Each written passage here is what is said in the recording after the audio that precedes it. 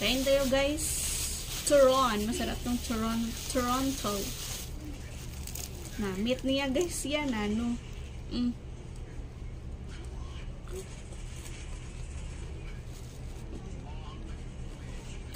Abi ko turon na malagkit ang ulod. Saging gali. Panamit. Mm. Small and medium na turon.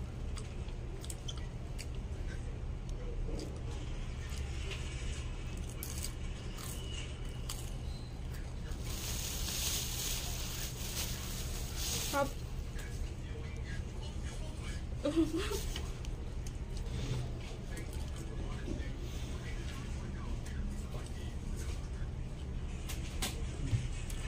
Banyamek.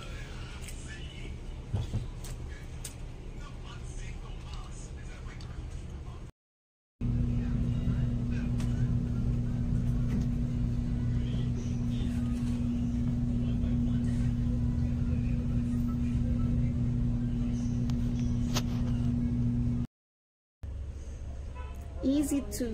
Ang cute naman ng aking hair though.